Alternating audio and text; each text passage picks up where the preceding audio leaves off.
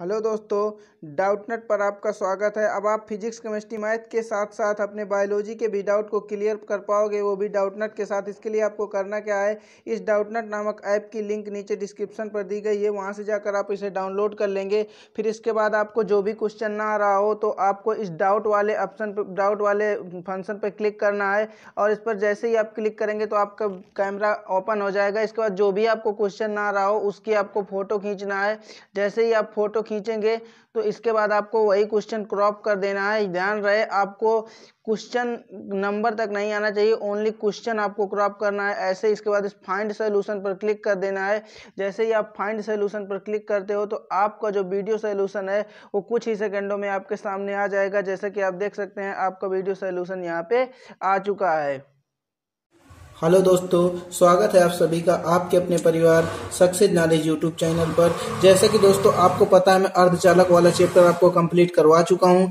अब संचार व्यवस्था का नंबर है तो मैं सोच रहा हूँ संचार व्यवस्था में मैं कौन कौन से क्वेश्चन करवाऊँगा और आपके बोर्ड एग्ज़ाम 2020 में कौन कौन से क्वेश्चन आ सकते हैं कौन कौन से क्वेश्चन इंपॉर्टेंट है तो उन्हीं क्वेश्चनों को मैं करवाऊँगा जो इंपॉर्टेंट होगा, अन्यथा अदर क्वेश्चन नहीं करवाऊँगा क्योंकि आपको ध्यान देना है, आपके पास टाइम कितना बचा है। फालतू की चीज़ें पढ़ने से आपका कोई मतलब निकलने वाला नहीं इसलिए वीडियो के अंत तक बने रहिए और जान लीजिए कि इस चैप्टर से कौन कौन से क्वेश्चन पूछे जा सकते हैं। तो इन्हीं क्वेश्चनों को आप तैयार कर लीजिए। सबसे पहले जब अगर आपकी इच्छा हो कि मैं इस चैप्टर को करवाऊं तो मुझे नीचे कमेंट बॉक्स में बताइएगा कि सर इसके वीडियो बना दीजिए। अन्यथा मैं इसके वीडियोज़ नहीं बनवाऊँगा। क्वेश्चन आपको बता देता हूँ कि ये क्वेश्चन इंपॉर्टेंट है। अगर आपको लगे कि ये क्वेश्चन हमें नहीं आ रहे, हमें टिप्स और ट्रिकें इन क्वेश्चनों की, चाहिए। तो नीचे कमेंट कर दीजिएगा मैं इनकी वीडियो बनाने के लिए तैयार हूँ। तो सबसे फ़र्स्ट क्वेश्चन है, बैंड चौड़ाई की परिभाषा लिखिए। बैंड चौड़ाई की परिभाषा क्या होती है? बैंड चौड़ाई की परिभाषा क्या होती है?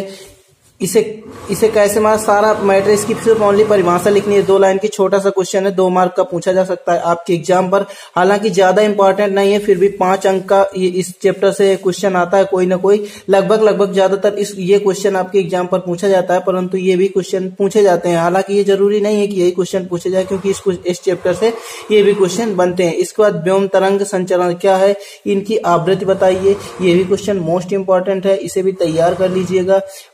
मॉड्यूलेशन से आप क्या तात्पर्य समझते मतलब मॉड्यूलेशन की आपको परिभाषा लिखनी है। इसके बाद संचार व्यवस्था के मुख्य अवयव कौन कौन है? ब्लॉक आरेख बनाइए। तो यहाँ पर मैंने हालाँकि मुझे उत्तर नहीं लिखना चाहिए, पर मैंने उत्तर पे इतना बता दिया है कि ये जो संचार व्यवस्था के मुख्य अवयव होते हैं मेन यही होते हैं अभिग्राही प्रेरित्र संचार चैनल। अगर इन तीनों को लिख देते होते तो पाँच हैं, लेकिन मैंने मेन मेन जो तीन होते हैं, उनको लिख दिया है तो यहाँ पर इन तीनों की अगर आप डेफिनेशन लिख देते हैं, इसका ब्लॉक आरेख बना देते हैं तो इसमें से आपको पाँच अंक प्रोवाइड हो जाएँगे। कितने? पाँच अंक का ये क्वेश्चन पूछा जाता है। या फिर अगर ये क्वेश्चन नहीं पूछा जाता तो इस चैप्टर में एक एक ही डेरिवेशन है ओनली ये वाला एंटीना जो पृथ्वी तल से एच ऊंचाई पर है।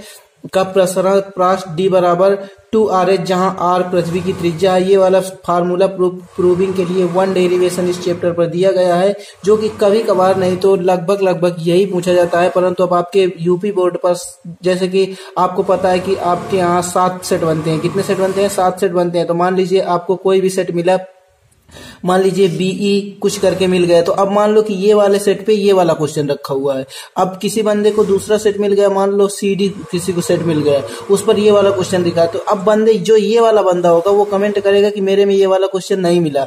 अब ये वाला जो बंदा होगा, ये ये कमेंट करेगा कि मेरे में ये वाला क्वेश्चन नहीं मिला तो ऐसे कमेंट बिल्कुल भी मत करिएगा। आपके जो जो भी आपका पेपर होगा, उस पर एक क्वेश्चन इन क्वेश्चनों में से मिलेगा, इसीलिए आपको सारे क्वेश्चन तैयार करने होंगे। तो आपका जो क्वेश्चन है कंप्लीट हो गया। अब हमारा नेक्स्ट क्वेश्चन आता है, आयाम मॉड्यूलन क्या है? इसकी डेफिनेशन आपको देनी है, छोटा सा क्वेश्चन है। इसका थोड़ा सा लॉन्ग क्वेश्चन पे है मॉड्यूल यहाँ पे ध्यान रखिएगा मॉड्यूलेशन और मॉड्यूलन में फ़र्क है। यहाँ पे मॉड्यूलन से आप क्या समझते हैं? आयाम मॉडलित तरंग हेतु आवश्यक नामांकित परिपथ आरेख बनाइए। ये भी क्वेश्चन मोस्ट इंपॉर्टेंट है। इसीलिए मैंने सोचा संचार व्यवस्था के पहले आपको मोस्ट क्वेश्चन बता देता हूँ। अगर आपकी इच्छा होगी तो मैं इन क्वेश्चनों को करवाऊँगा।